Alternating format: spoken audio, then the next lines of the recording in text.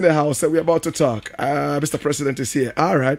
Okay. Kofi Koranteng, how are you doing? Yes, sir. Yes, sir. Easy now, bad boy. nice, nice, nice. Whoa. Yes. I'm happy to see you. Good body. Back, very back, healthy. back. Listen, man. We're proud. we're proud to be here. We're proud of you. Uh, we excited, man. Black. I'm telling you, this is a whole different level, man. Mm. Uh, you the man. First, Thank you. uh, enough, enough respect. Thank you so man, much. Thank you so much. You've held it down, uh, regardless of what's coming at you. And I know they're coming at you. They're gonna try. They man, do every can't- time. Yeah, but they can't. They can't touch a good man. You know? That's right. Easy, That's right. Easy. All right, so Kofi, welcome again to the studio. Welcome. You have a good body. Have you been visiting the gym? Uh, Gobe. I don't know if you Gobe. know what Gobe is, man. Gobe. Cocoa and beans, man. That's the only thing we're left with. So we got to eat it hard. Oh my God. Yeah, man. Wow. Yeah, Then yeah. I have to start eating gobe seriously. Let Do you eat it you. morning, afternoon, evening, or just man, um? if I could afford it, man. Wow. but, yeah, the way it is now, twice a day, Wow. once a day. Sometimes you just gotta up up on the beans. Wow. You know. But hey, it's the order of the day. Ah, wow. It's tough, man. Wow. Black. It's tough. It's really tough. All right, so Kofi, tell me, what has your upbringing been like? Where were you born? Mm-hmm. Where exactly and by who? Okay. So I was born at Korle Bu. Mm. Uh, my father's name is uh, Ocher Cranton, Kwejo Ocher Cranton. Mm-hmm. Uh, my mother, Elizabeth Kwakwenyanche, she is still in London. Mm. Uh, my father passed away last year. Wow. God bless his heart. Uh, so I went to Agri Memorial International School near the uh, Ghana Broadcasting on Ringway. Mm. Uh, went to University Primary in Cape Coast, Mm. Garrison Primary in Kumasi, uh, and then uh, went to London. Uh, well, actually, went to a disco. A disco. Uh, then went to London, went to New York, where I lived most of my life, and then back to Ghana. Full circle, baby. Wow. Full circle. So you were born in 1966, correct? That's correct. Wow. That Yeah. was the year Nkrumah was overthrown. Uh, yeah. Wow. 1966. Interesting. All right. So what kind of a family were you born into? Were you able to eat three times a day? Was it a good family? Was it a rich family? Uh, we were not rich, I'll Mm. tell you, by no standards. Um, uh, my father was a police officer, so he provided for us for the best that he could.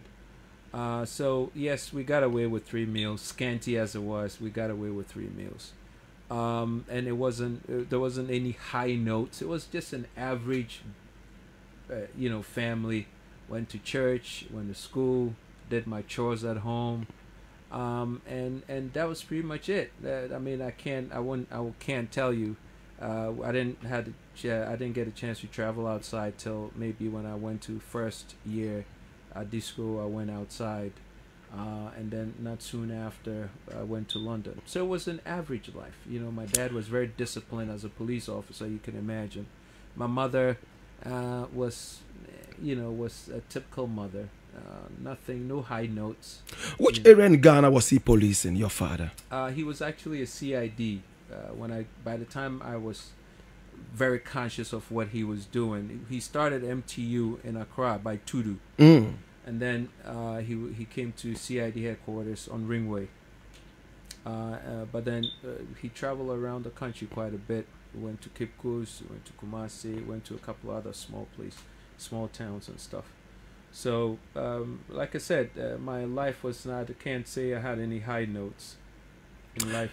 How many siblings? I have three sisters, older sisters. And uh, where are you ranked? Number one, number two, number three? Uh, three older sisters. I'm the last. The last of the one. four. Ah. Yeah. My guest in the studio is Kofi Koranteng. We're going to have a very interesting talk. All right. So he was born right here in Ghana. Which part of Ghana? Accra. Accra. I've lived in Accra, Lartebiokorshie. Ah. Um, so uh, that's where we live. We lived at Airport Res.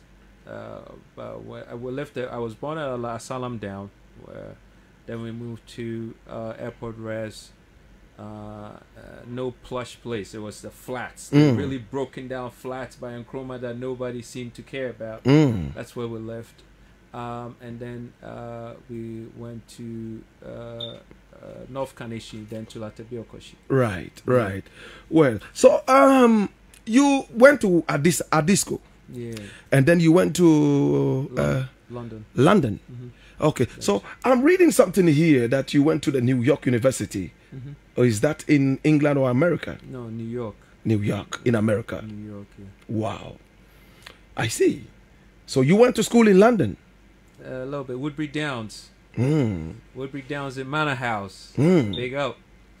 Yeah. And then you studied economics and business from the New York University. hmm Tell me about the New York University. I mean, when you were there, what was it like? Um. uh, well, it's different. Mm. New York University is very uppity, Mm. if you would say. Very, you know, uh, it's a very starchy environment. Um, you know, Wall Street basically controls New York University. I mean, if you go to New York University, you're in business or economics, you're gonna end up on Wall Street, where I ended up. Right. Uh, but uh, th- it's a very solid uh, fraternity. Uh, they control uh, quite a bit of New York in terms of business. Uh, it's a respectable institution. It's not an Ivy League institution, but it's a very respectable because they have a very solid uh, fraternity. Um, so um, it, it was great. New York was in the middle of uh, uh, town, um, uh, East Village. Uh, so you would hang around West Fourth, Washington Square, um, and then you would move to Cooper Square on the other side, East East East Village, uh, and then it came into West Village on the West Fourth side. So that's that whole section there is New York University. Nightlife was good. The food is good because you were right in the middle of downtown.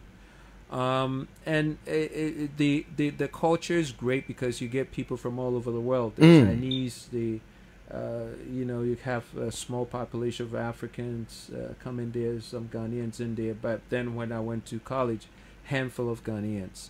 But it was a great experience because of how education kind of leveled the playing field Mm, for everyone mm, to come in and mm. just uh, push and massage ideas. It was Right. it was an environment for ideas. That's the only thing that was a defining variable. It wasn't about uh, you know where you came from or you know what I'm saying. When you sat in the class and you had a professor in front of you and you were arguing or you were making sense of perspective, uh, all that mattered was how much you could, how much brains you could put on the table that made sense, and that's how we I grew up.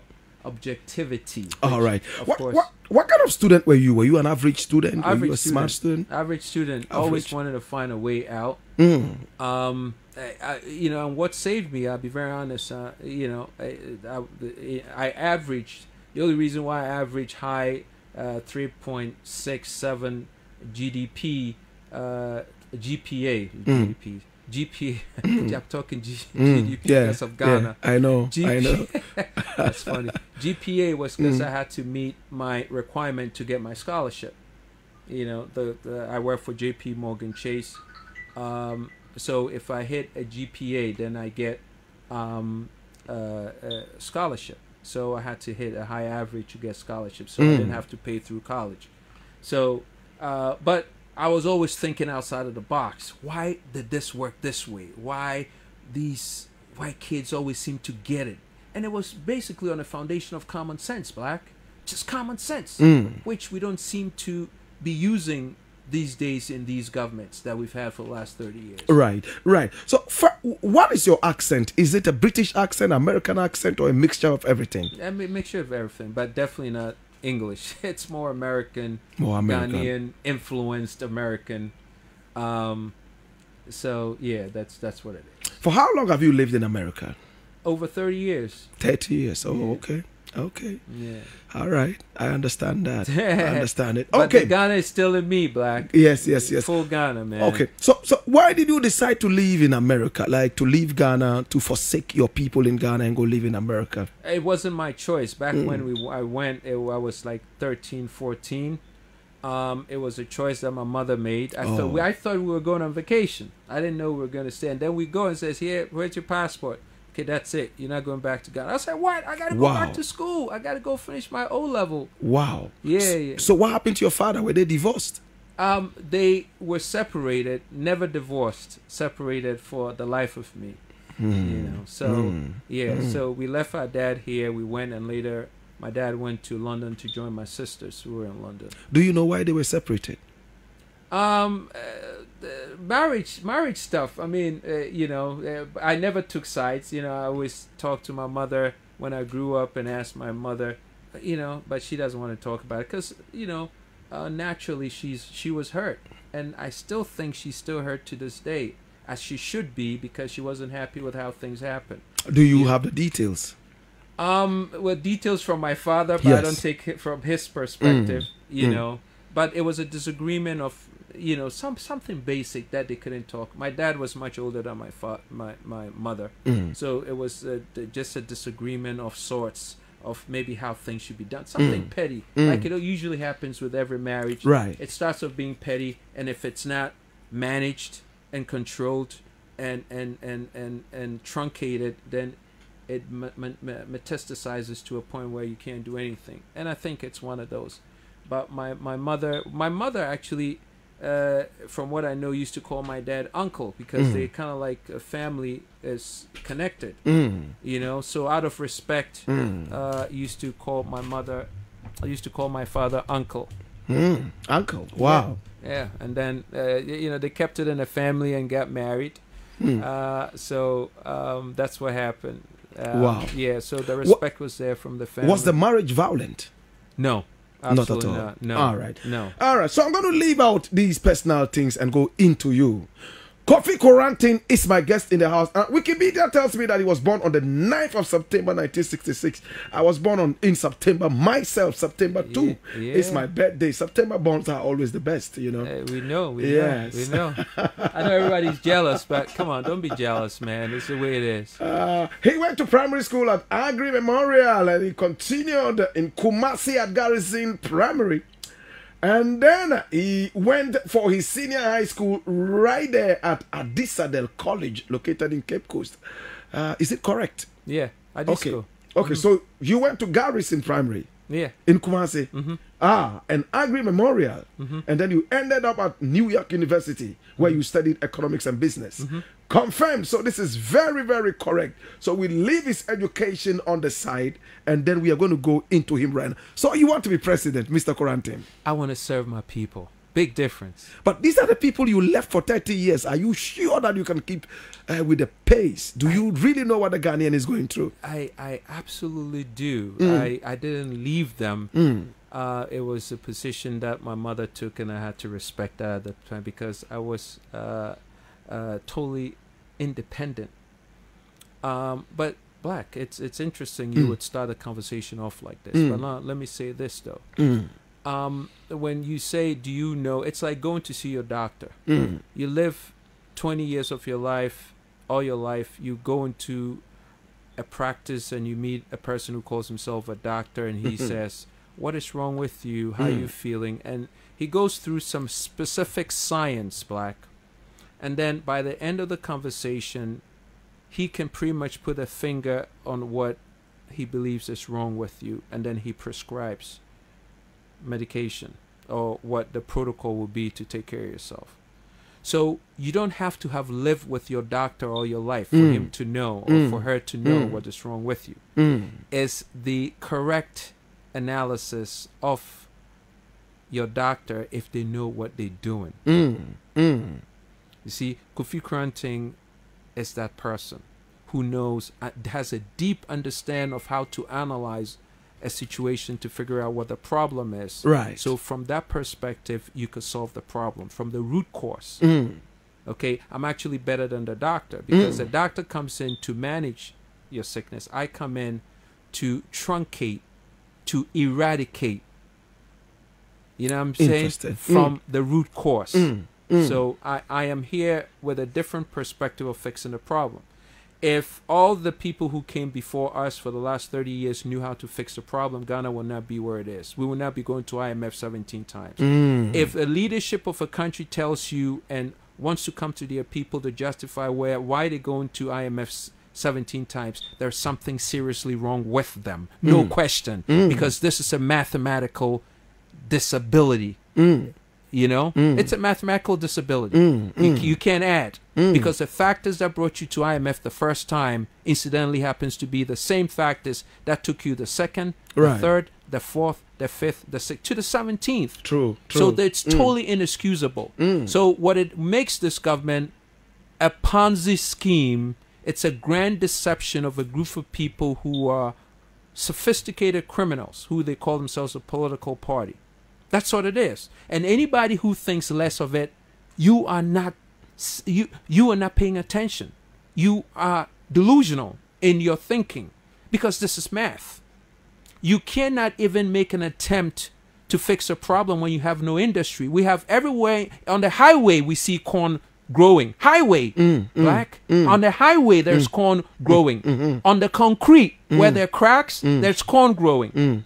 How much more all this land that we have in abundance? That's We don't have anything to do with it. Mm. We will milk our uh, resource, gold, diamond, bauxite, lithium, take it to the international commodity market and exchange it for cassava and corn. Mm. There is something seriously wrong with this leadership, mm. and nobody could dispute that. If you want to dispute that, you are starting at a deficit of thought. Your mind does not work. Kofi. Koranteng is his name. He wants to be the next president of the Republic of Ghana. Somebody asked me, why are you looking for the high end? Why did you not start off as um, maybe an MP or an assemblyman of make- or Koshi? You know, yeah. Black, you can't make any impact. The the the the, the Constitution of Ghana makes you powerless at every level except for the presidency, and that's one of the reasons why we're coming in to change the Constitution. That's correct. That's correct. You see? Yes. So th- all these people vying to be ministers and parliamentarians, they they're, they're just there to exploit, to rape the system. They're not there for any impact making. Mm. How? What impact have they made? Go down the list and tell me one parliamentarian since the Fourth Republic who has created any impact. Tell me, mm. and I'll go join them. You see, we have had people come talk like this, same way you're talking, you know, very eloquent. They would speak nicely, like Nana Akufo-Addo. In fact, he had almost your accent, you know, said the same wonderful things we wanted to hear. And then he came into power, and the only difference we see is his bloated stomach. Now, the next thing we see is that we are at the IMF. Now, Kofi, I'm reading something about you that says that you fetched some signatures. I mean, is this not a, a false step? No, it's not. Uh, we did not fake any signatures. I'll tell you what happened. The police said that you did. No, it's not the police who said that. If the police said that, then they would have a record Mm. because it would be a criminal offense. Forgery is a criminal offense. Okay. right? So uh, if I have a criminal clearance report that okay, says if, if you can hold on a second, I'm going to read this out to you Sure. from same Wikipedia. It says on the 19th of October 2020, the Electoral Commission disqualified five candidates, uh, which included Kofi Koranteng, on the instances of forged signatures and manufacturing of endorsees. The Electoral Commission found out that 29 signatures signed endorsing him, that's you, were fake and had been forwarded to the Police Criminal Investigation Department CID for further investigations where your father worked. Now, the Criminal Investigation Department of the Ghana Police Service CID, after their further investigations, confirmed that the 29 signatures were fake and hence his disqualification. So the police.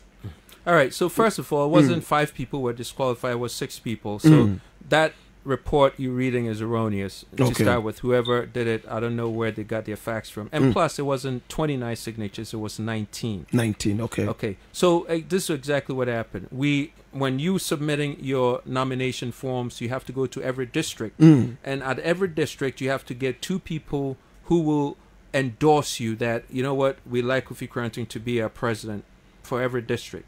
So what happened is for uh, Western North region, uh, the Electoral Commission called us on a Friday and said, "Oh, we have seen some irregularity with your signatures, with your entries. It looks as if somebody else has the same entries, black, somebody else." Mm. So they say, ah, but we're gonna figure it out. And we get a call Saturday. We go in and they say, well, we have CPP here. They're sitting right there, and they, we they're telling us that the people who filled your application are their people. Mm. So they take a sheet and show us, and they say, you see this list? The CPP person, Ivor Greenstreet, says, these are all my people. They're on my list as uh, executive members. All the 90 executive members. They found their way on our sheet out of 46,000 voters registered in the northern uh, uh, western north region we could not find anybody except for 19 executives of the cpp who signed our paperwork, who incidentally happened to be the same people who signed the same document in the same places for the CPP. That's strange, isn't it? Wow, if that were a million dollar ticket, I would have hit it. Mm, mm. You see? So obviously we knew right there. Now, to this day, they haven't given us the paperwork. The paperwork that they apparently said we forged. And let me tell you another thing. My vice president, who came, nominee who came to EC to sign his signature, we got a letter from EC saying that he forged his signature. Wow. He came to the EC. Mm. Now, if I were going to forge anybody's signature, will I forge my vice president's? That will be strange. Yeah. They mm. said he, we got a letter saying he forged. Now, uh, Black, mm. one thing. Signatures could be have some slight variations here and there. You know, but what's strange is to get the same 19 people who signed the same CPP paperwork who are executives, not just regular executives, in the same positions on the document in the same order, the same name, all the details. Another thing, every entry we got on our paperwork, EC had a text code 1422. You text it to EC, and then you get a response, and the response tells you this person, black, uh, this is their name, uh, this is where they live, this is their voting center, da da da. It gives you all their specs, and then you verify. We verified every single one of them on our paper, and everything came out correct. So now, if somebody comes and says, "Well, the person who put their name on your paperwork happened to put their name on somebody else's paperwork," Right. do you disqualify somebody for that? Wow. What happens is black, which is not, uh, it's it's it's it's it's um, uh, uh, uh, regulation with EC. They give you a chance to go and correct. So guess what? They told us on Saturday that you know what, go and correct. We got our people in Western North ready, and they we compiled a set of signatures to bring back to EC. We came back to, uh, about ten o'clock on Sunday. We didn't sleep all night. We came back the next day with all the paperwork corrected. Guess what? They said they wouldn't accept it. Why? Only God knows. Did And- they give you any reason? They said they wouldn't accept it. But they were the same people who asked you to go correct Yeah, that. yeah, yeah, yeah. They're the same people. What do you suspect? Oh, foul play. I mean, come on. They wanted us out. They wanted us out of this race from the beginning because they thought we were a threat, and we were going to cause the, the the election to go into uh, uh, a second round. So they they thought the same people who vote for us would vote for Akufo-Addo and the NPP. Now, Black, isn't it interesting that over 17 million people registered to vote, only 12 million voted? Wow. 5 million people almost did not vote. Why? Those people would have voted for you. Those people, I'm not saying 100% of them, Mm, but but, a big they were not happy with the people who were on the ballot. Interesting. You see? So this all adds up. And I've had, we've had numerous, hundreds of calls, people saying, if you're not on ballot, we're not voting. Wow. Did You you, vote? I voted. Who did you vote for? I voted for uh, for president. I voted for uh, Asiedu Walker for president, and for the parliamentaries, I voted for GUM. wow. Yeah. You didn't vote for NPP. You didn't vote for NDC. Oh, absolutely not. Mm, I won't touch them for a billion dollars. mm, mm, mm. You consider them criminals, right? They are. I don't consider them Mm. criminals. criminals. I, how can I? I don't have the. I, how can I consider them criminals? Mm. What they do is what makes them who they are. Mm, mm. So by virtue of their deeds, Yeah. guess what? They are criminals. Mm, mm, mm. Do you think that Ivor Greenstreet was used against you? Because I wouldn't know. I have no proof to think that. But one day we will find out. How's have you that? have you spoken with him? No, I haven't. Have you spoken with the 19 people who, I mean, allegedly signed for the two parties? They didn't give us a chance to get the name, so we don't know exactly. Uh, we we can't. We don't have the guarantee to go to them. We they didn't give us the paperwork. To this day, Mm. the electoral commission has a law that you bring us three copies, we verify all of your four copies, and we'll Mm. give you one back. Mm, To this day, we don't have our copy. mm, mm. We never got our copy back. But I tell you what, they called us and said, "Hey, listen, we've done with our investigation. You could come and get your check for hundred thousand cedis." Yes, the report said it was returned to you. But why would you report to something to me if I'm a criminal? Mm. I'm a criminal. I forged signatures. Were you arrested? No, I went to the police station. We got a cl- clean criminal clearance report. You know what the police said? Mm. Ah, get out of here. They don't know what they're doing. They do it all the time. That's what the police said. That's what the police told me. the police said the Electoral Commission They do it all the time. and they don't know what they're doing. No, Interesting. Which police station? that? CID. That's where I got my criminal clearance report. CID. Do you know who exactly said this so we can put the person on the line? Um, I do. I cannot. Uh, it would. I would just have to go to the person who issued my uh, certificate of cr- criminal clearance. Mm, mm. But there was no report, Black, and I totally believe them too because there was no report filed. I have a clean criminal record. So No. if I was hit with forgery, we went to court. We, we went to court. We hired attorneys. We went to court. They dismissed the case that oh um, we didn't have enough proof and blah blah blah. They dismissed the case. Yes, yes, yes. The report said it was uh, dismissed. Mm-hmm. Were you satisfied with that? Absolutely not. We had to be on the ballot. We did. Listen, Black, we did not sleep. He was there.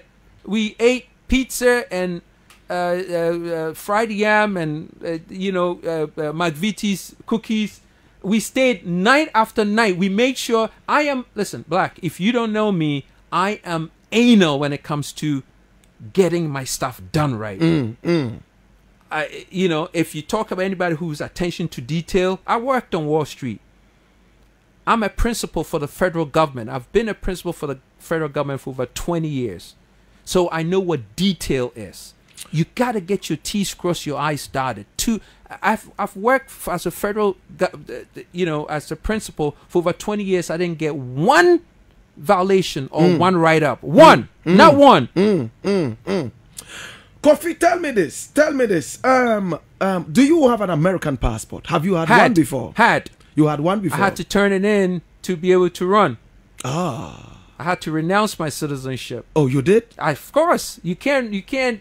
Listen, this is not a game, Black. Mm. This is our lives depend on this thing. Mm. We had to go in and turn in America. They looked at me and said, "Are you crazy?" I said, Hmm. "No, I'm not crazy.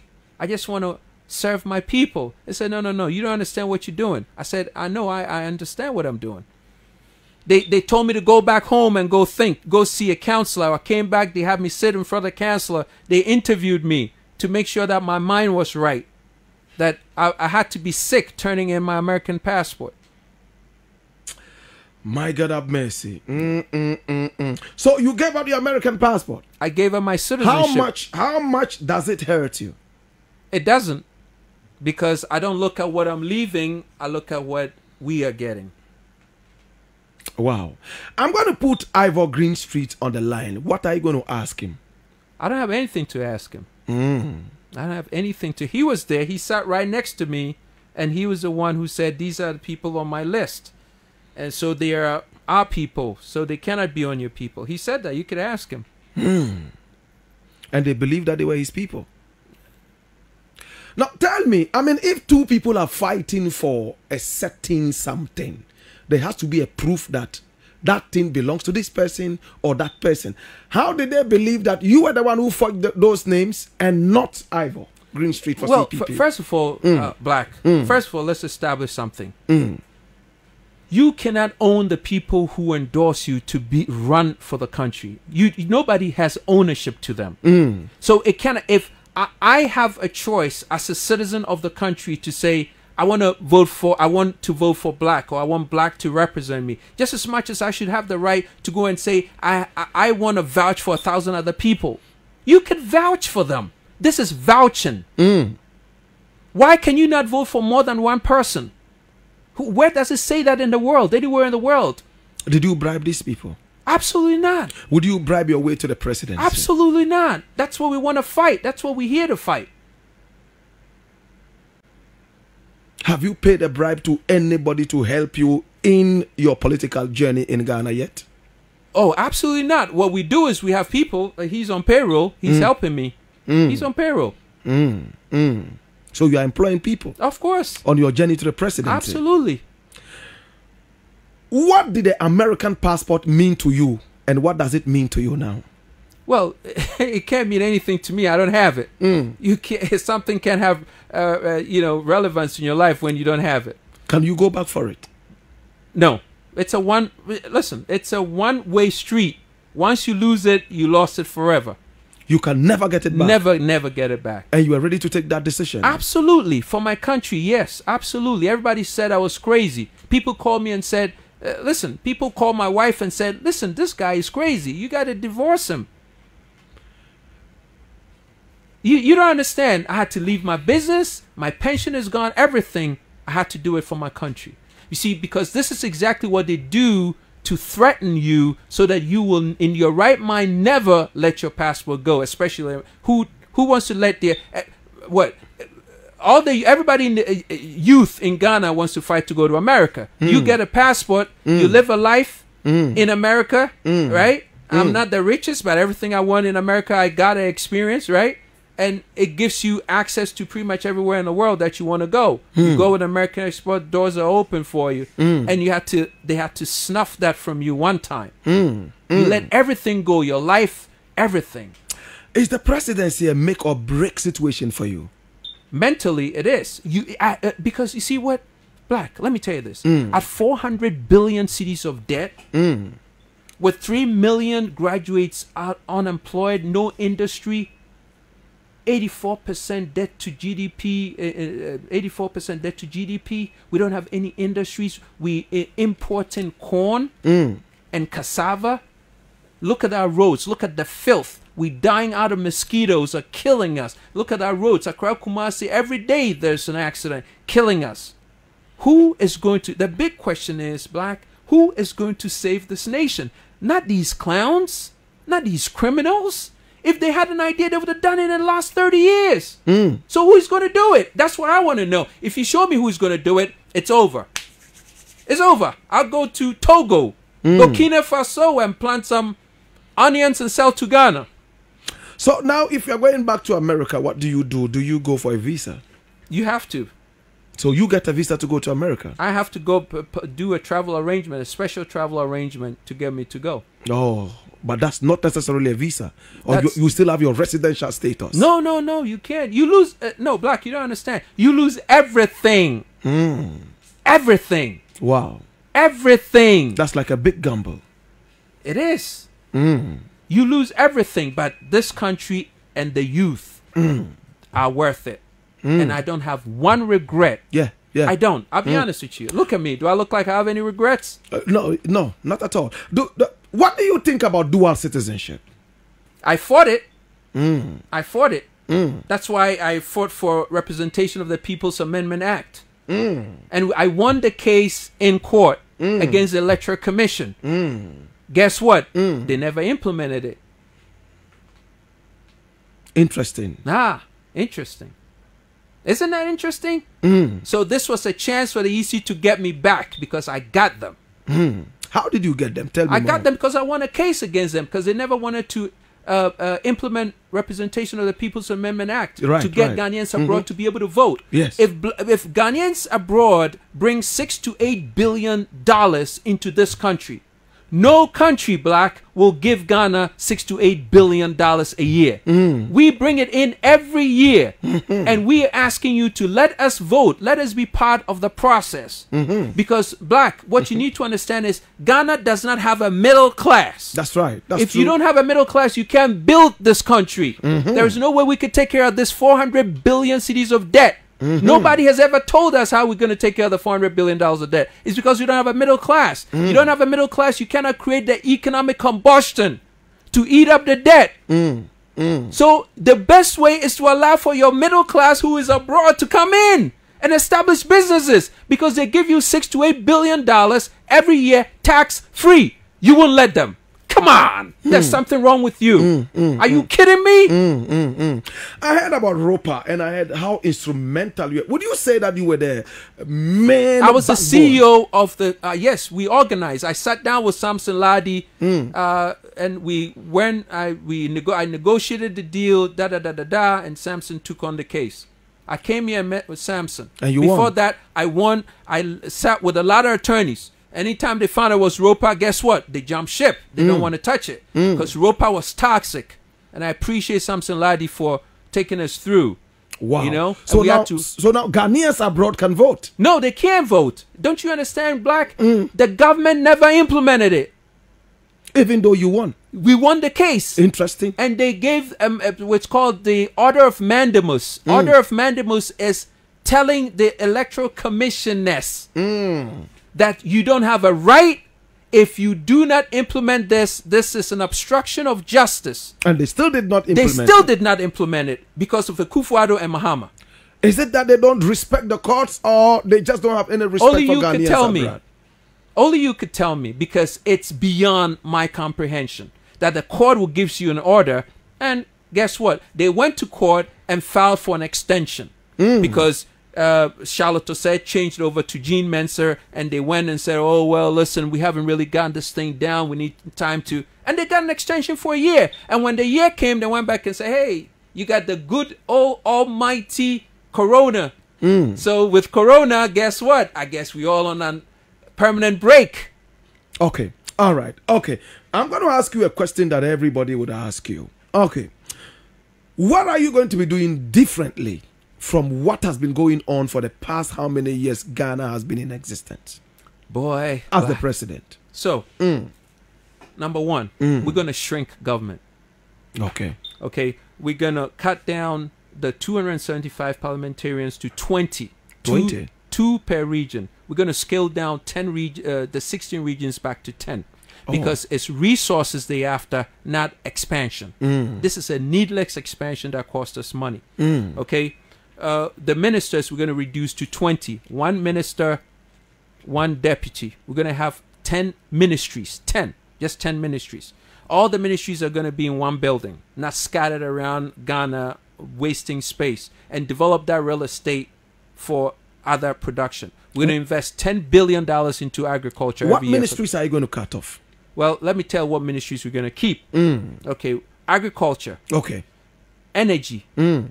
um, uh, uh, employment and entrepreneurial development, Mm. Mm. education, Mm. finance, Mm. foreign affairs, Mm. Ministry of Trade, Mm. Industry, Ministry of Health. Trade, uh, uh, uh, Foreign Affairs. Yeah, 10. for- foreign affairs, you mentioned that twice, but that's okay. No, no, no. Yes. But okay, so let's Yeah. do it again. Okay. Uh, Ministry of Justice. Mhm. Okay, I guess Justice. Okay, Minister, of, Justice. All right. So, Minister of Justice is in there. Yeah. So, a number of them are going to be cut off, like the Ministry of Social uh, Welfare, Women, Gender. It's not going to be cut off. It's going to be scaled to an agency. Okay. and the agency is going to work just like a ministry. See, the reason why they bumped it up to ministries is so that they could have the perks. Mm.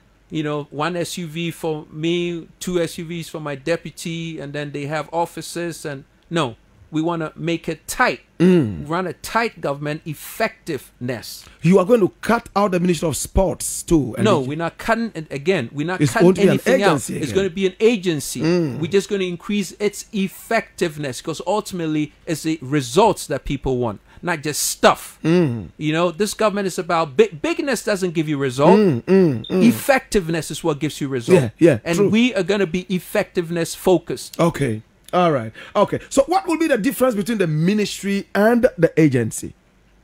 Ministers, Mm. costs. Mm. It's going to cut costs. Okay, you're going to have you could have a small place like this functioning as the old ministry into an agency. Mm. Again, it's a result. That's why we're going to put all the 10 ministries in one building. Mm. You see, so we're going to focus on effectiveness. Mm. You see, we have 55 diplomatic missions around the world. Mm. What do they do for Ghana? They each cost us over $100,000 every month. Hundred thousand dollars Dollars a month. a month. Wow. Why do you keep them? The purpose of a, the diplomatic mission is to negotiate for trade. Do these guys, you see to them to be bringing in any trade to Ghana? Wow. Exactly. That's why we're going to cut. We're going to only have five. One hundred thousand dollars. Absolutely. Go to New York and find out how much that the offices there, the rental, the cars they drive, they don't drive anything more than two years old. And we have each one in every country. Not every country. We have 55 of them. Fifty-five. 55, including Burkina Faso. Mm. Mm. Tell me what we're doing in Burkina Faso. Maybe to negotiate to bring in some cows from Burkina Faso. There you and go. They, no, we sheep. negotiated to bring in donkeys, Mm. and they come and they take uh, fertilizer across the border. I know what you mean. To, yeah, according to the I know what agriculture minister. Mm. Come on, what a joke. Mm. We're going to cut all that nonsense. So we're going to shave down and we're going to invest into agriculture. And the agriculture, the output of the agriculture, we're going to put to industry. The agro-based industries are going to expand to absorb the high unemployment in our youth. You don't seem to like Bawumia. You said he should resign. Uh, is he your worst politician in Ghana? Wait, first of all, why would anybody, a person who has come and lied to us about everything the NDC and Mahama did, right? And then the guy comes and performs worse than them, and you want to keep him? That's the way the guy laughs. Even the way he laughs is nauseating. Okay. All right. Well, I'm told that I have um, Ivor Greenstreet on the line. Sure. I'm going to try talk to him. Um, all right. All right. Um, which line is this? Which line is he going to be on? Let me see. Is Ivor still on the line? Ivor, are you still on the line? Hi, good afternoon to you, Ivor Greenstreet. Good afternoon to you, Ivor. Ivor, are you on? Oh, we lost him. Hallelujah. All right. We lost him. We lost him. We're going to try and get him again. We're going to try and get him again and we'll talk to him. You know, we like to talk. Uh, I mean, the whole circumference, 360. All right. So we're going to find out from Ivor Greenstreet uh, exactly, you know, what happened and uh, if, well, let me hold the questions. When he comes on, we will talk to him. Don't worry about it. All right. So you were talking about what you were doing differently. Yes, All right, you're going to be cutting down some um, ministries, that's correct. and then, you, you change them into agencies. That's correct. And then what we're going to do, which is major, is we're going to change the constitution. Okay, we're going to change the constitution, uh, uh, no nonsense constitution. We're going to plug all the leaks. The leaks uh, uh, are what is killing Ghana right now. We're losing so much money because the constitution has too many leaks. Oh, okay. And you then, are talking about the leakages. yeah. All right. And then Mm. also we're gonna uh, go to near zero corruption. You can't eradicate corruption totally, but what you can do is you could cut corruption down. How we're gonna deal with corruption is we're gonna go deal corruption at the administrative level. That's the only way we're gonna be able to take care of corruption. You got to deal with it at the administrative level, the criminal level, and also psychological level. Okay, hold on a bit, man. I'm coming forward to you again. Ivor, good afternoon to you. How are you doing? Black oh black. Yes, Ivor Greenstreet. How are you doing? I'm fine, my brother. It's been a long time. I think I need to find my way to your house and eat some vegetable soup. And Are you still close by? I think you've left your, your office that was close by. You're yes, yes, but I can always find my way there. No two ways You're, about you're that. always on the move. Yeah, yeah, yeah. All right. I have an interesting gentleman in the house who is looking uh-huh. forward to becoming the next president of the Republic of Ghana. You might have encountered this interesting gentleman. His name is Kofi Koranteng. And in the last elections, he said the people who endorsed him, in fact, 19 of them that came into a certain contention were the same people who were supposed to be the executives of the CPP that you were leading. True? Uh, well, depending on what context you're asking that question. Uh, these are matters which came before the Electoral Commission at that time. Right. So, and I know that the Electoral Commission did did uh, write a report Mm. about uh, um, uh, what occurred uh, during the nomination process in the last election Mm. and uh, um, uh, why some parties and persons were qualified and why others were disqualified. Mm.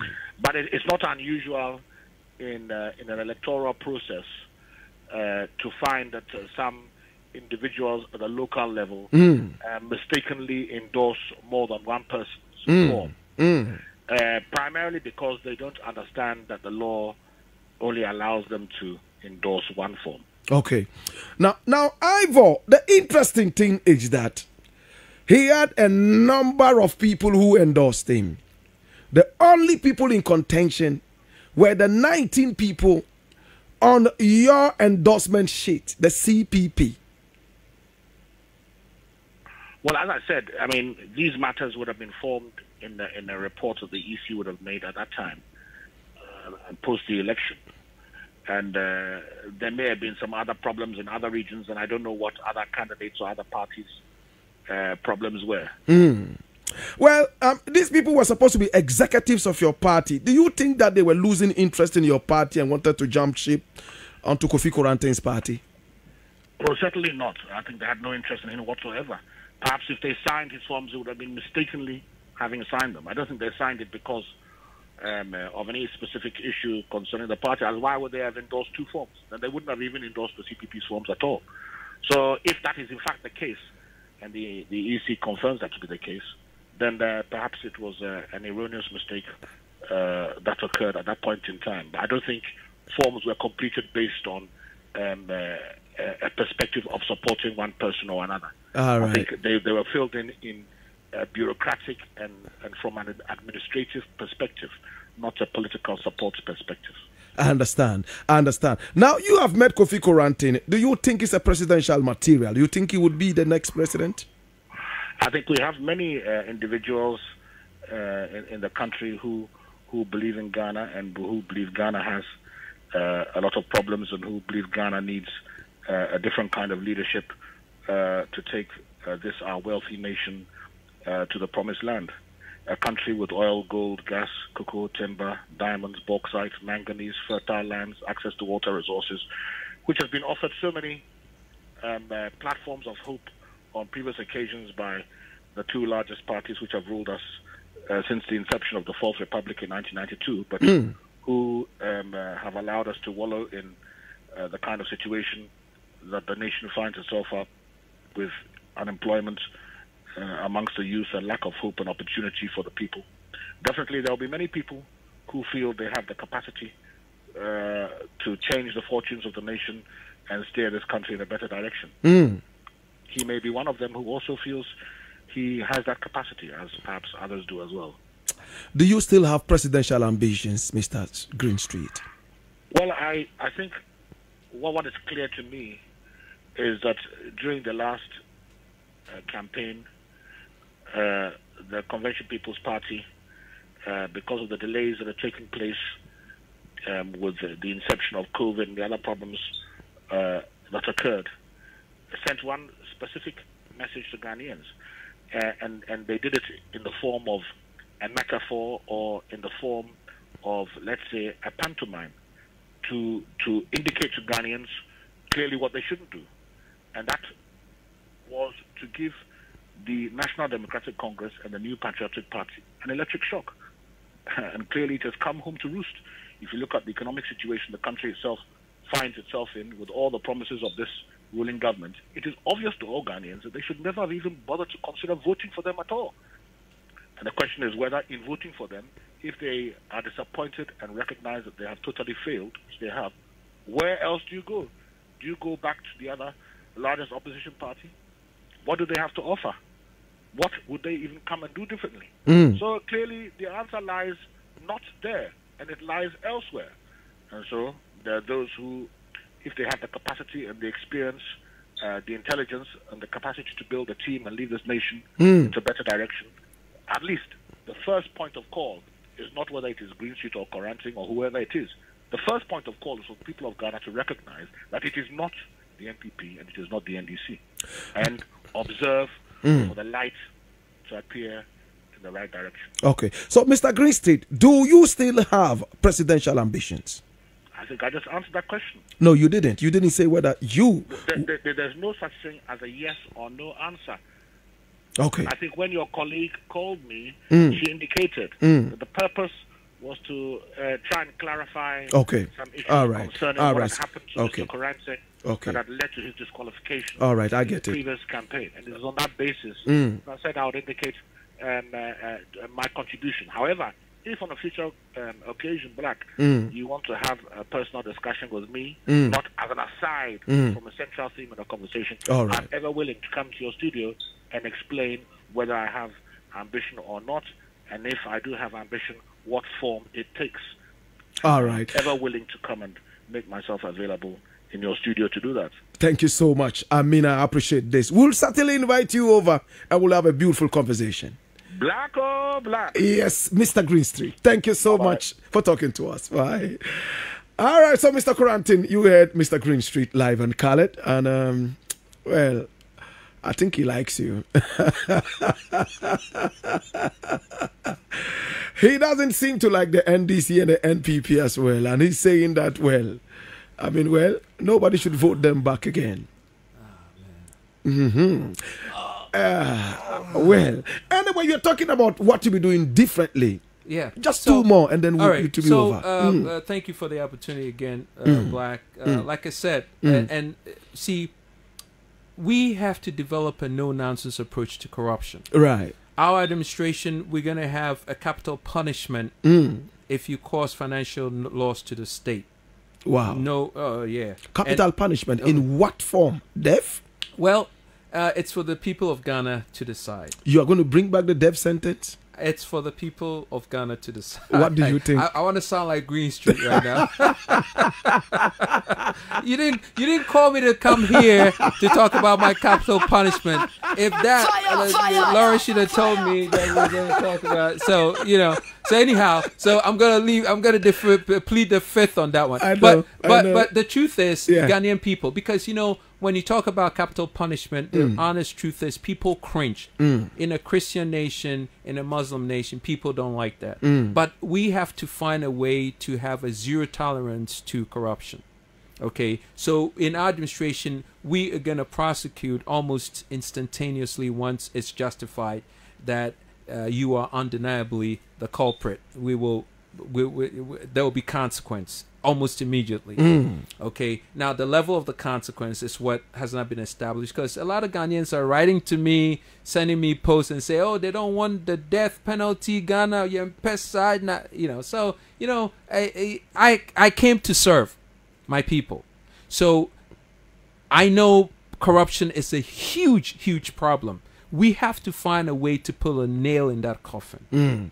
and I want our people, our people in Ghana, to be um, uh, uh, to to kind of exercise some type of uh, in terms of dealing with the facts. Right. If we don't go heavy on this corruption thing, it's going to kill us. It's the reason why ND, NPP spent seventy-seven billion dollars in the last six years, and nobody can point to it where it's gone. Yeah. yeah. Seventy-seven billion Mm. Mm. point five. Thank. Mm. You That's see? crazy. It's crazy. So we we cannot have a nonchalant uh, attitude that oh you know we're gonna um uh, punish it. No no no no Okay. no no. All right. So that's the All right. attitude. All right. Kofi Koranteng is my guest. He wants to be the president of Ghana. I want to serve my people. in the next elections and he would only serve the people of Ghana when he is president. He thinks that when he can make the best efforts, right?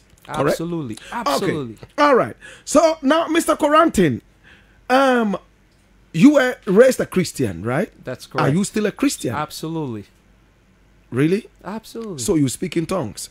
no, Oh, why? I'm I'm I'm I'm spiritual. Mm. I go to church, Mm. but I'm spiritual. Mm. So I believe that the body has different dimensions, and I communicate on that level Mm. of providence. Mm.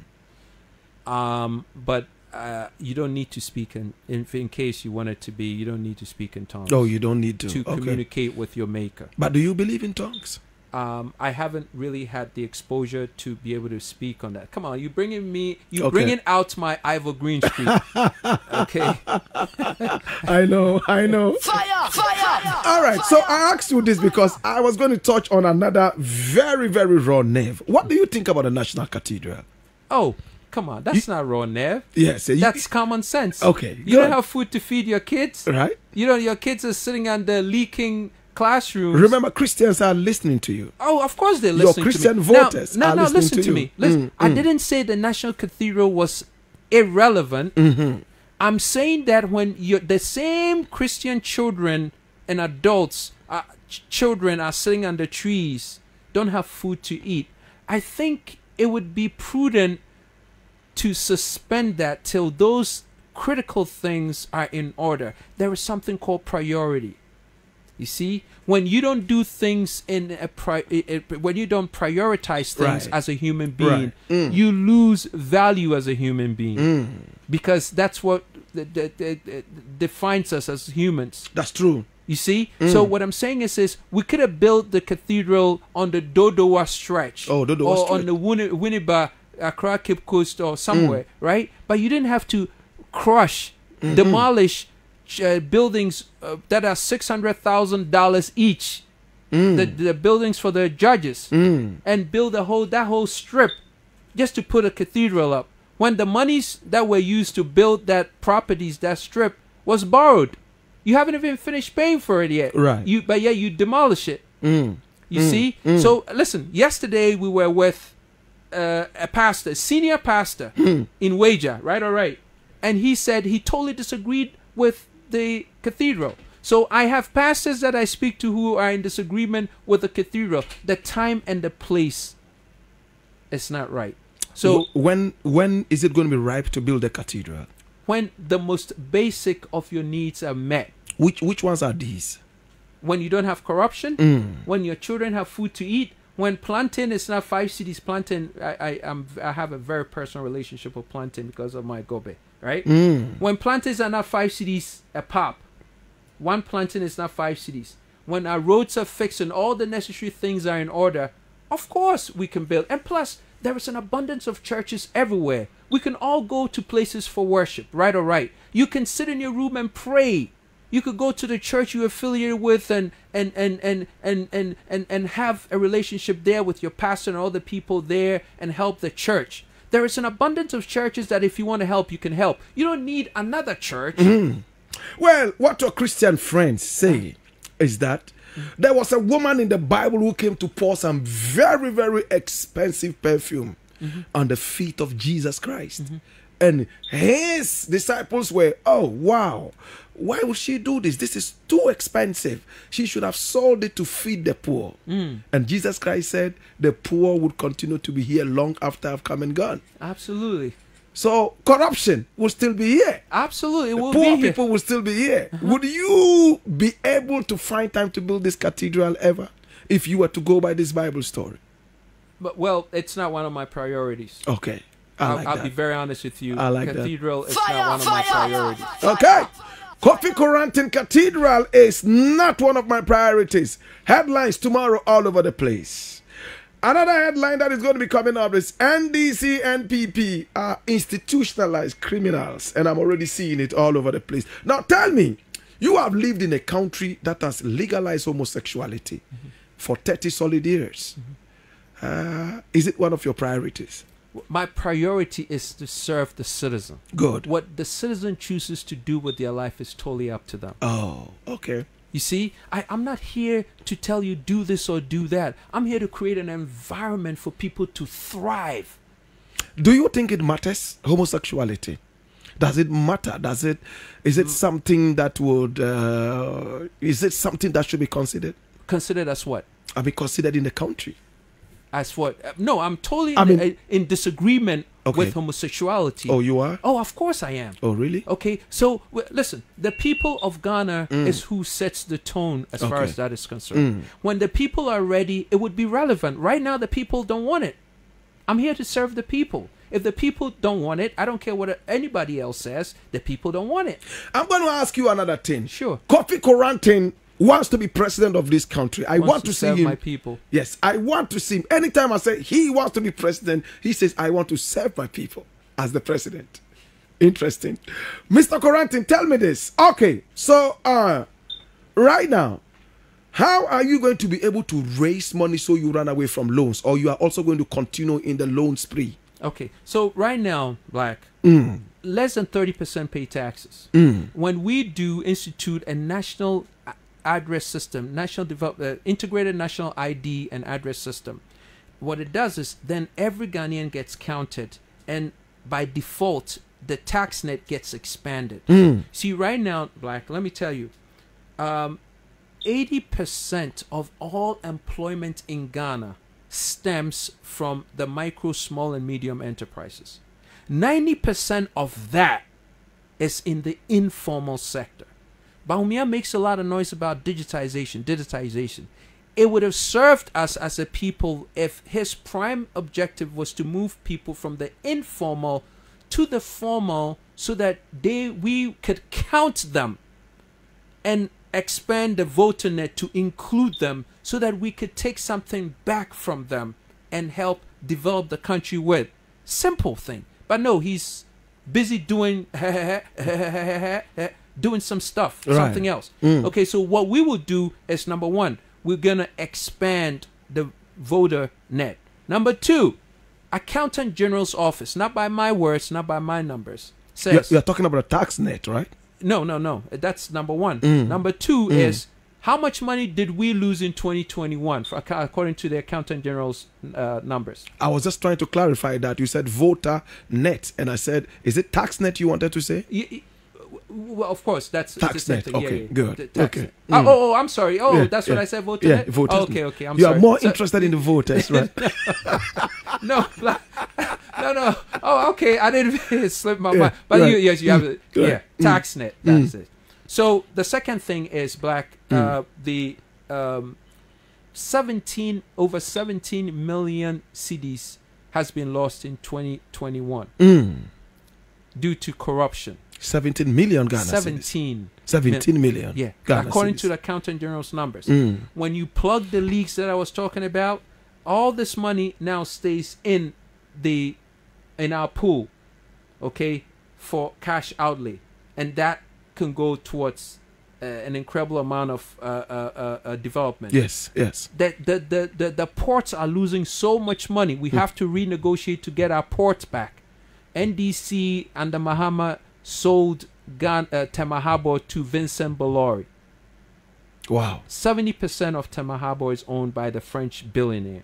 As it stands right now, As it stands, go on Google right now and you will see it. I didn't know that. Yeah, I'm telling you that.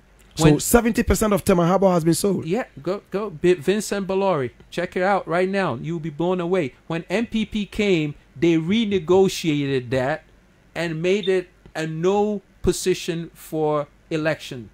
So NDC and NPP agreed that oh, you know what? When it comes to Tema Harbour, we're not going to talk about this Vincent Bolloré deal. And they moved the NDC people out, and they replaced the NDC people, NPP people, who are now enjoying the benefits of this transaction.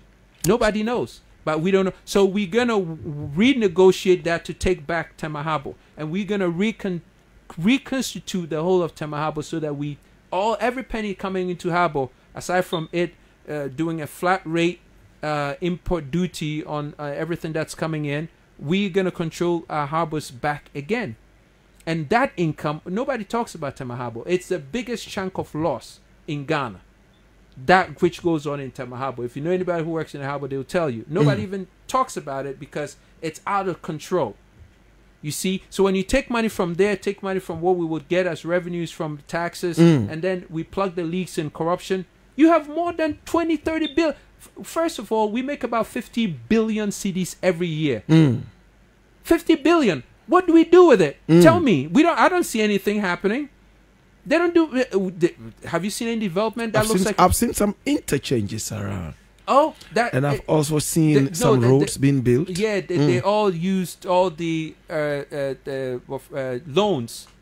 They borrowed to do that. That was your justification for the borrowing. Mm. When you don't have any income, you build interchanges. Mm. Really? Mm. You you Mm. have to justify income first Mm. before you go on to do projects that don't bring income. We don't understand that math. This is common sense. Are you sure it doesn't bring income? We have the road tolls that uh, you know people riding on the roads pay No. money and. So first of all, you have to establish your income generators. Mm. So that's the first thing any government wants to do. See, this is why. So how then do we have if your justification is road tolls? Mm. Why do we have four hundred billion dollars of debt? Mm. Mm. Four hundred billion cedis. I'm sorry, four hundred billion cedis of debt. Mm. obviously they did not do the math right, right? So what I'm saying is this whatever monies we have now, it has to go into agriculture. Agriculture is not just the hoe and the cutlass agriculture because we're going to be using drone mechanized farming, mega machines. And then agriculture has uh, medicine, uh, has uh, uh, transportation, Mm. has research and development, has engineering, uh, has mechanics, has freight, transportation. It has so it has uh, uh, uh, uh, so many different sectors in agriculture, and then we're going to use that to absorb and bring incomes up. You see, uh, once people's lives change and quality of life goes up, then th- we start building gradually the middle class. Right now, we don't have a middle class. Would you accept any ministerial position from um, the current government? Absolutely not. See, the head is what the problem is, not the tail. No, you could change the tail many times. If the head is rotten, it's rotten. You see? What is the tradition of your party? Your party is called a progressive what what what? No, no, no, no. It's New Vision Movement. New Vision Movement. But so what, what is this progressive? Progressive something? Alliance Movement was the organization that took Electoral Commission to Oh, court. Europa. Okay. Mm-hmm. Okay. All right. So, what is the tradition of your party? I mean, this party, this NPP party says is Busia Danquah now, Busia Danquah Dombo party. And then the CPP says, oh, Nkrumah. Which one is your tradition? Serve the people of Ghana. Make prudent decisions so we can have a decent life. What do you think about Nkrumah? Are you an Nkrumahist? Absolutely. I love Nkrumah. I can't compare myself to him, but we have learned from the things that he did. I think it would be an insult for me to even begin to compare myself to Nkrumah, but I have studied him, I have learned a lot from him, and we use we want to revive his vision. What do you think about J.J. Rawlings? I, I think he came in at the wrong time. Mm, Um, I think he was not prepared. mm, um, and that's what uh, you know. You see, my my attitude is, you can't do a good thing in a bad way, and I think he attempted to do a good thing, but because he was not prepared himself, uh, people took advantage of what he did when he came in. You know, a lot of people say, "Oh, we at this time we need somebody like JJ to come," but we don't need somebody like JJ. You don't need somebody to just come bulldoze the house down. You need somebody who has mathematical exactitude, surgical precision mm.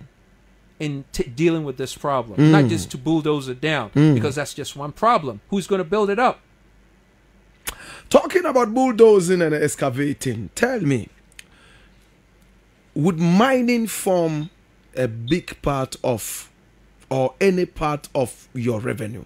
You mentioned, you know, I'm going to block leakages. I am going to be able to do this. You didn't talk about mining. No, Does it matter to you? It matters to us incredibly, absolutely. But for now, what we're going to do is we want to lift off on mining, okay? Because it's spoiling the land. We have to preserve, go back to preservation of our lands and mm-hmm. water bodies, mm-hmm. okay? And get a hold on that before we can institute incredibly critical definitive measures for if we're going to have mining companies come in or we are going to involve in mining or mm-hmm. go in partnership with mining start a process. It's not regulated now. Everybody comes in and starts digging and they it's been a menace. Yeah. and they've destroyed the land. Mm. And they've polluted the waters and you have uh, uh, I mean, listen, Blakk. This is a serious situation. We went up pra. There were places we went where uh, goats and pigs were getting seizures. You know why? Because of the levels of toxicity in the water. And now our mothers are starting to consume it. Our women are consuming it, and they're giving birth to irregular babies. This means that they are sucking out our uh, human capital. All the babies there could have been black and could have been all the good people of this nation are being killed before they have a chance to live because of toxicity levels. You see? Hmm. So it's a problem because it's not being managed, it's not being controlled properly. If money is what we want, why don't you go to our agriculture? Agriculture is renewable.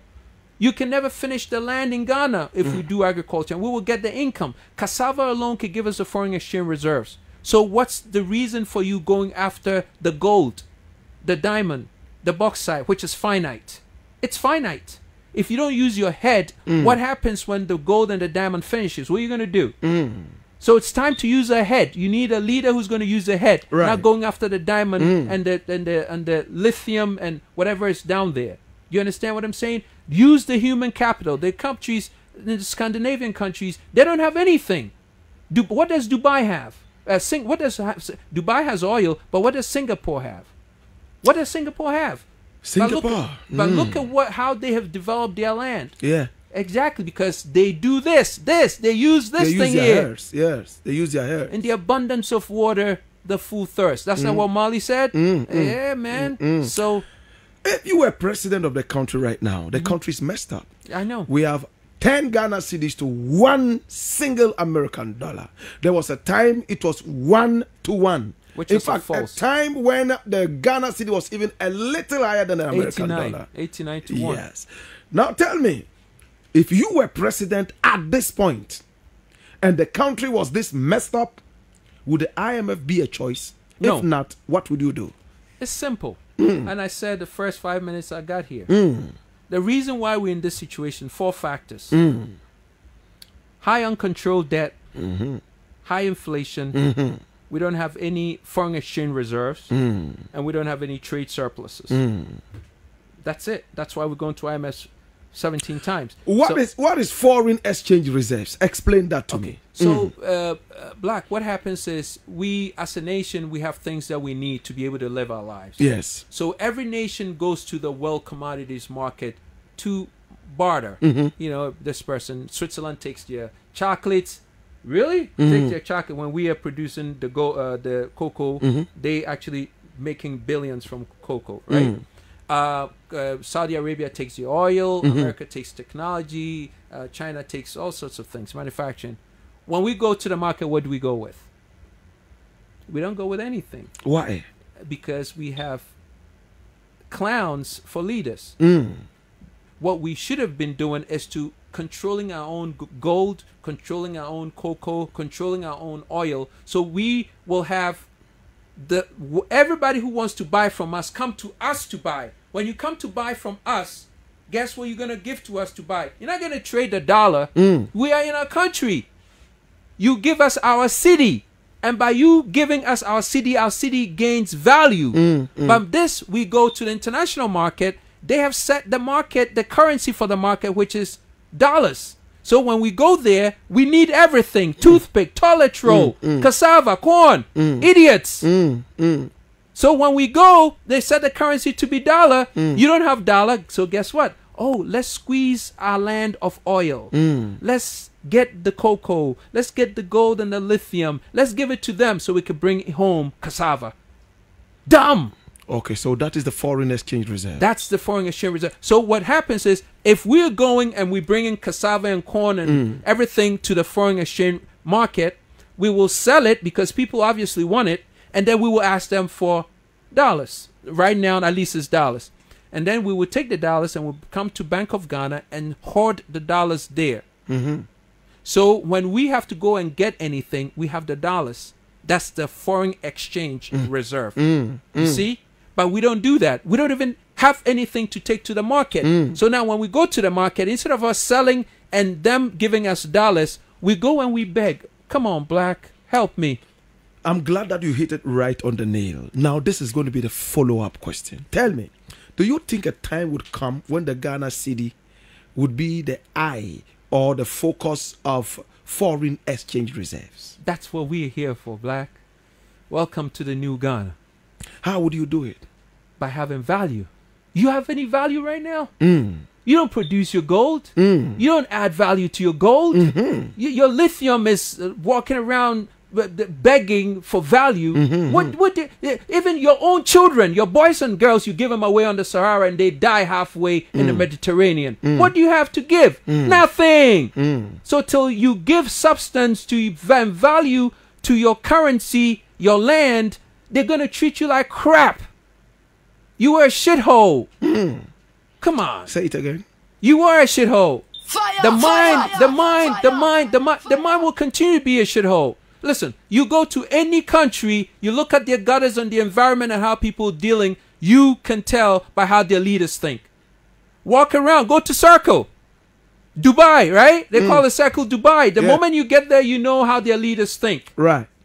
The center of every city tells you how their leaders think. Mm. Go to Trafalgar Square, Oxford Circus. Mm. Go to Times Square. Go to Washington D.C. Right? Go to the the uh, uh, Tiananmen Square. What do you see there? You see order. Mm. You see people living a life of substance. You see a government invested in their people to be on top of the world. Go to Circle Dubai. You see neglect. They don't care about you. You a shithole just as much as they are shithole thinkers.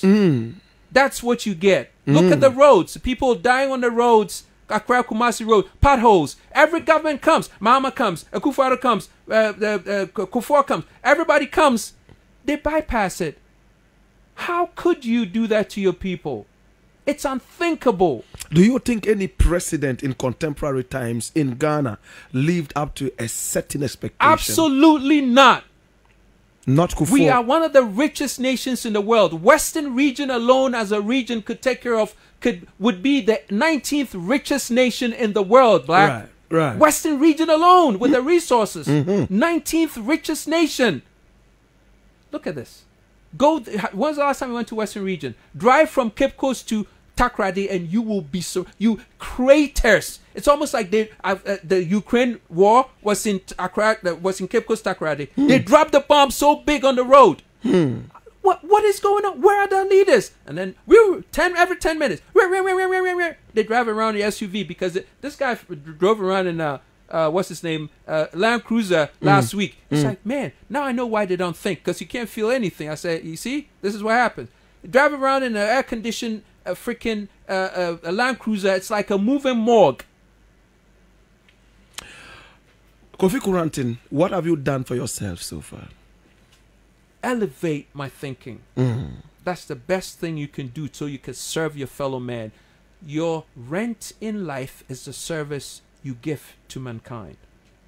I want to serve my people. Mm. I have seen enough. I have done enough. The highlight of my life is to serve my people, in, to, to emancipate us, to make black people feel that we could do it. Blakk, it's sad that you will sit here and talk all this big game. Blakk, you got a big name. You, mm. you got a huge reputation. Mm. Blakk, what are we going to do for our nation? Because if we don't, then all the goodness that was blessed unto you, it'd be nothing, Blakk. What have you achieved personally, Mr. Koranteng? Well, aside from fighting to get uh, ROPAA, which is a big feat, I've written a lot of programs uh, for Ghana in terms of expanding the tax net. Okay, uh, we did a program to do um, uh, uh, Ghana Expo, Oil Expo here, so that at the at the dawn of the uh, oil explosion, we wanted all the world companies that were in oil to commute here, uh, and it was under the NDC administration. Um, they it fizzled out. They chopped our money, the investors' money, and it never got to anything. Uh, we also uh, were the first people who actually did the uh, real-time um, toll systems for Ghana. I brought in a company from Westchester, New York, uh, did the toll systems, uh, proposed uh, a seamless toll system where real income could be generated from tolls. Uh, it got thrown away. You see, uh, so we've we've made several attempts, but when you make attempts and they take pieces of what you are proposing and they do it themselves to make money, and they never want to call you to the table. There's always somebody wanted to exploit what you bring in so they can make money from. It kind of it, it you get to a point where you say, you know what, maybe you need to go and grab the bull by the horns, and that's what we're doing. Who sponsors you in this journey to the presidency? Hopefully, you by the end of this program. But the people you see around me, Mm. uh, The people that you've employed. uh, uh, oh, you'd be surprised. Yeah. Uh, you know, they, they sponsor me. They, uh, the, the, the, the people around the world who know but that but we. these guys around you don't look like they have a penny in their pockets. But you don't have to have a penny. You have to have a heart Oh, okay. So they support you with their hearts. and money too, because what we're doing is expensive. Because these Last guys week- don't don't look like people who have money in their pockets. Eh, but they don't look. They don't have to look like they have money in their pocket. My brother, do you have money in your pocket? I see. I see some money here. Oh, I see. You got twenty. Yeah, he has one cedi in his pocket. That's good. Oh, he has more money in his wallet. All right. I, I need money myself, Yeah. so I'll I'm sure this. he has dollars in his pocket. Oh no, no, My far God. from it. Yeah. Far from it. Uh, oh, uh, uh, that's Hey! it. Masa, Yes, he's holding an American dollar. Wow. And he has a check. My dollar. His dollar account. You see, he has a dollar account. You see, the people following you don't even believe in the Ghanaian cedi anymore. well, we you see, but this is one thing. Um, it's not that you don't believe, Mm. but if you want to preserve your money, then everybody has an excuse to preserve their money, Blakk, because it only makes sense. Uh, how how how best for you to take care of your family if you have a mon- if you have a currency that's withering away every minute. Mhm. It's sad. Mm. But you see, the sad also thing to recognize is the damage has already been done. Mm. What we're seeing is the reverberation of the problem that happened six years ago when this these guys should have seen that it was a problem Mm. uh, because they didn't they were clowns all along like i said they've been a deception this has been the biggest ponzi scheme Mm. that they laid on ghanaians and we Mm. bought it Mm. we bought into Bawumia's magic uh, that he didn't have anything, and it's evident. This is not me saying it. This is Mm. not you saying it. Uh, The, the, the, what, what do we have? Have you heard of Nam1 before? This is the penultimate question I'm yeah, asking yeah, you. of course I. What do you think about Nam1? Well, he took advantage of a broken system. Mm. The Securities and Exchange Commission and the Bank of Ghana should have set regulatory, the same regulatory platform they should have set so that they wouldn't have to use that as an excuse to spend 25 billion cedis to ref- to fix, to demolish. They decimated our banking system with 25 billion cedis when they could have reformed it with 9 billion cedis. Who does that? Tell me. Who does that? So they caused the banking system to metastasize to be cancerous. Mm. And then they came back with 25 billion cedis to decimate it at the cost to us Mm. so that it gave prevalence to uh, the um, uh, uh, uh, uh, uh, um, uh, Momo. And then they came back and said, oh, since Momo is making money from this system, which we should have created, Bank of Ghana should have created the payment aggregator that Mm. Momo created, but they didn't have the f- vision to do it, right? So Momo saw that these guys are not smart. Let's go in and create a Momo system and take money, represent the people who are unbanked. When you say unbanked, it means the people who don't have what it takes to go to bank, people in the informal sector. So Momo created the system, and bank uh, the Ghana government sees that oh man these guys are making so much money. So instead of them lazy government to go in to duplicate what Momo has done and take the whole shebang from them they go and say okay we'll allow you to do what you're doing but then we'll take a fraction of what you're doing. Mhm. as you see? But this is the lazy government. You see? So Nam1 saw that and took advantage of it set up a Ponzi scheme. Oh, it was a Ponzi scheme. of course it was a Ponzi scheme. Okay. You know how Mm. many people have died from that? Where are the people? I Mm. mean, who who takes a hundred cedis and uh, five folds it in three months? Mm. You can't go from hundred to five hundred cedis in Mm. three months. Oh, that was what he was doing? Yeah, Okay. apparently. I had people who were my clients who wanted to go invest money with Nam1. I said, listen, I don't know about this guy, and I'll never say put your money into somebody who. Real money comes from hard work, not from the clouds. What's your specialty? You are just talking about clients. Uh, no, I'm in investment banking. investment banking. All right, so Kofi Koranteng is my guest. We are winding up. I want to thank you so much for coming. I appreciate you. And my listeners are so impressed with you. I have some comments coming in.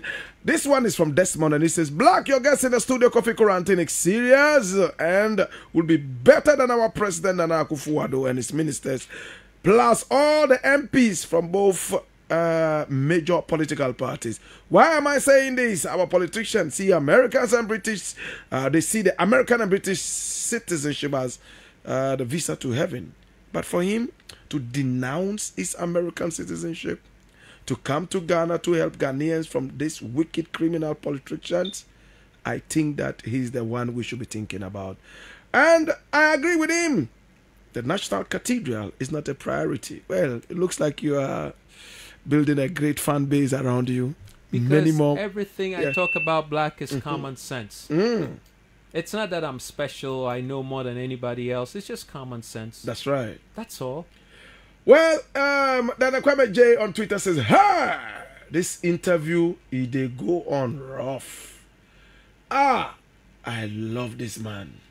Woo. Mighty Don Duvasti, the Mad Kuchoko engineer said, I want to serve my people. I am here to serve my people.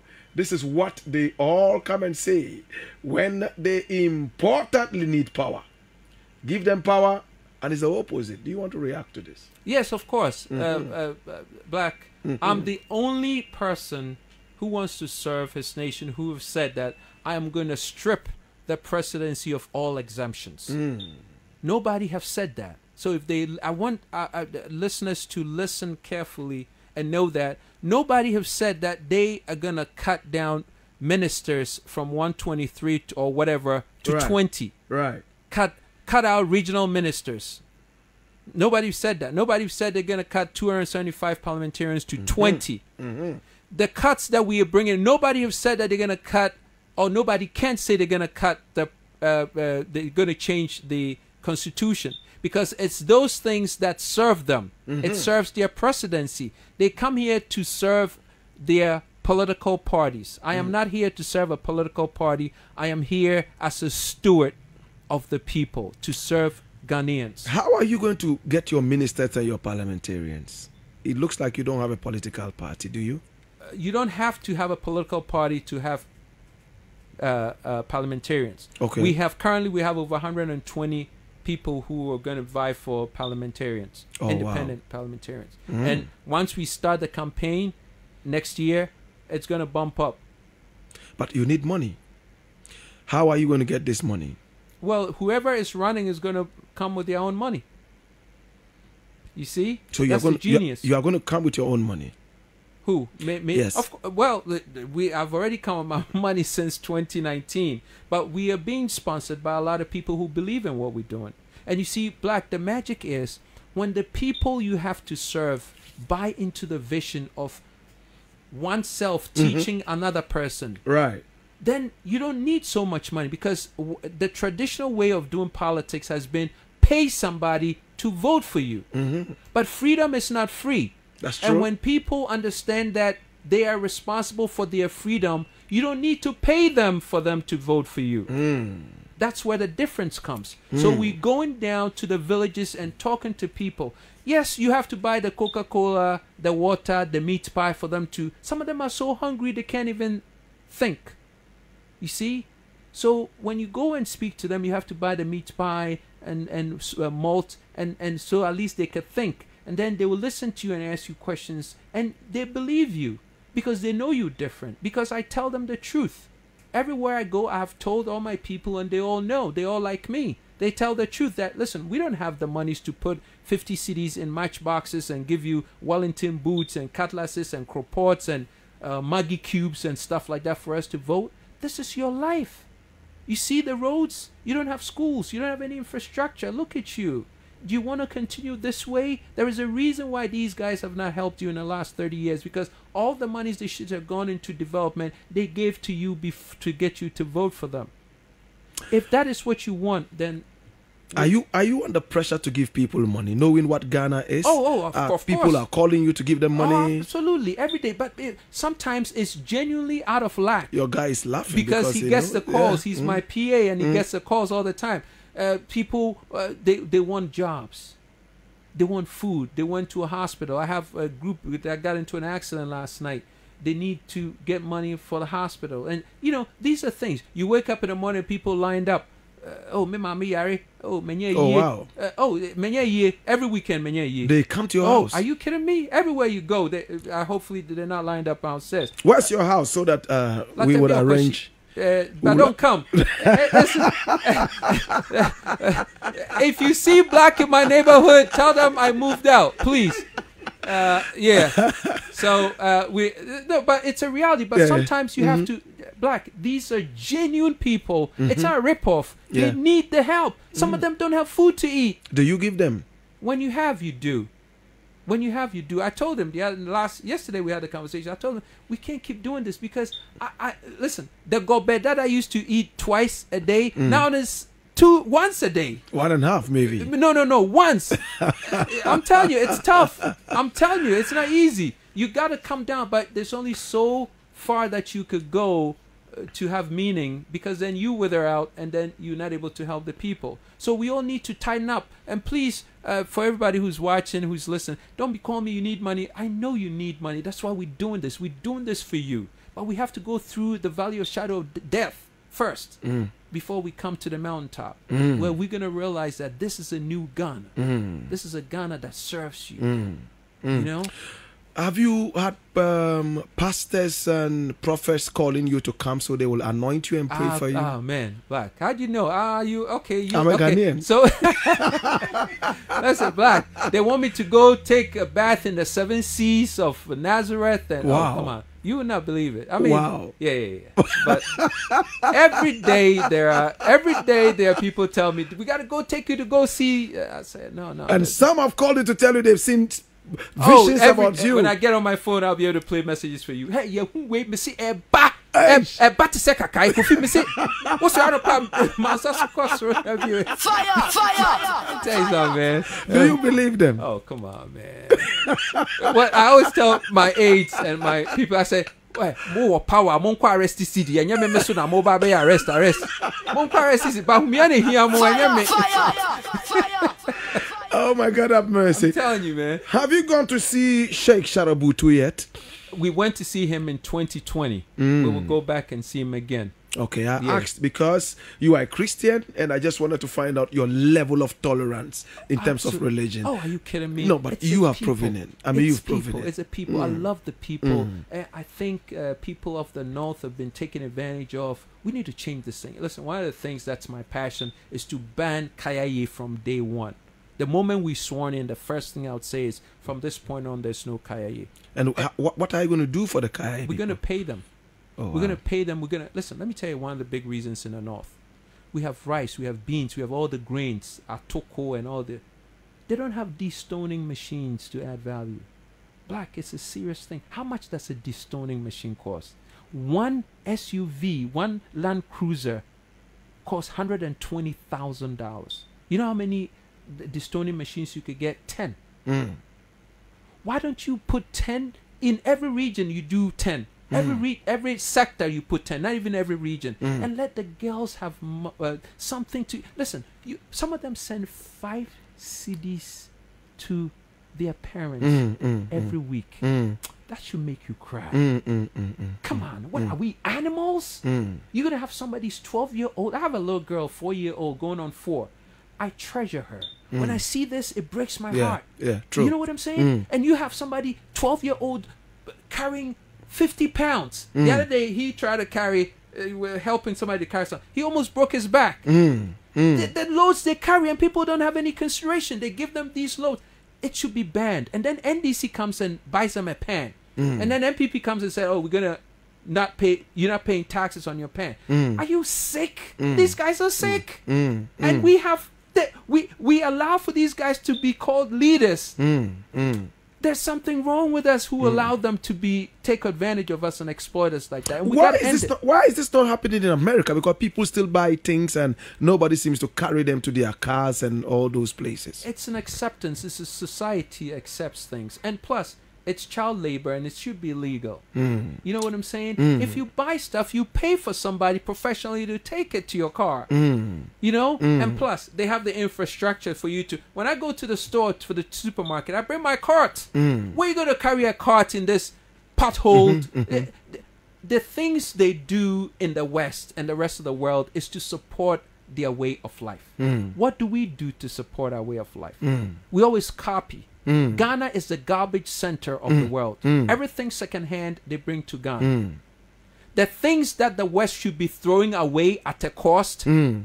they sell it to us for a profit. That's true. Think about it. I'm going to end on this. But um, do you have the blessing of your mother for the presidency? What is she saying? Uh, my mother, she's of age now. Mm, Uh, when I call her and talk to her, you know, she doesn't have much to say. I mean, Mm. my sisters tell her, "Oh, Kofi, you're a president, so Kofi de, you, I mean, show. I mean, that's she said. My Mm. pop, my pops died last year, mm, mm. so my dad, I know if he were alive, he would be my biggest supporter. Wow. Yeah, because they know I'll be able to deliver.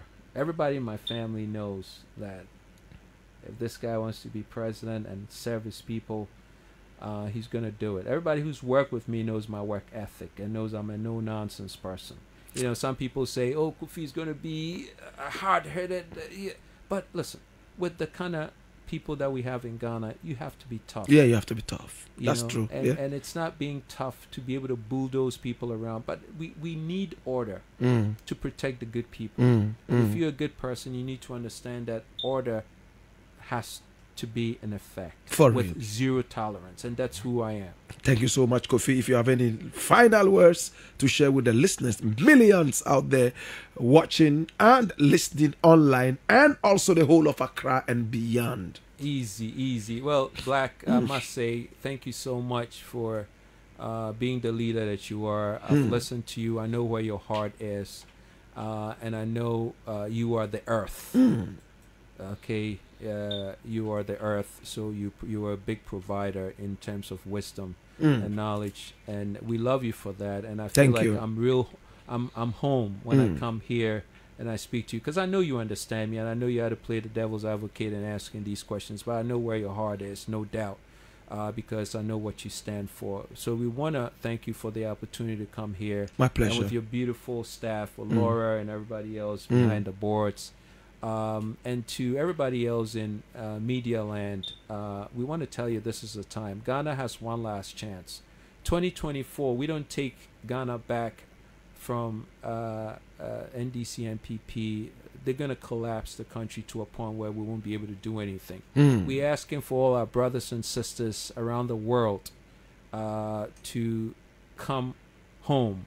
If you're not able to come home, come home with your money and resource. We need the money. Uh, let me be blunt. We need the money because the people in the villages, uh, we need to go to them and see them and talk to them and get them to understand where we're coming from and also understand their positions. And it costs a lot of money to take on this endeavor. So please help us www.kofikoranteng.com kofikoranteng.com and the uh, cell phone uh, the momo number is uh, 026 uh, 026 uh, 625 4687 02 oh i'm sorry 024 625 4687 024 625 4687 momo number and kofikoranteng.com there's a donate uh, button there that you could donate. And also help us join us on whatsapp whatsapp is 059 999 5120 059 999 5120 join up on whatsapp and let's get this conversation going this is your life we have passed politics we are an endangered species. We have the last chance to get this thing right. Let's get it right, Ghana. This is our moment. We thank Blakk for giving us this platform. We know this is a huge platform. Get it, push it out to your neighbor, and let them know this is it. This is the last stop. We have one last chance. 2024. We don't get it right. It's over. Blakk, we love you, baby. Thank you so much, Mr. President. Easy. Okay, so I want to play you in a reggae song of your choice. Which one do you want? Boy, uh, this will go to Bar- Barrington Levy.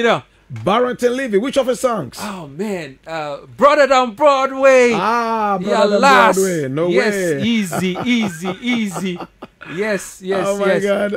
yeah, this is an old time, you know. Old time. Yes, yes, yes. Old time. All nations You in love London. the dancehall style, right? Yes, yes, yes, yes, yes, yes. You know, I'm a bad boy, you know. Easy. All right, so here we go. My Yes. name Blakk Rasta. Yes, yes, yes, yes, yes, yes. Easy.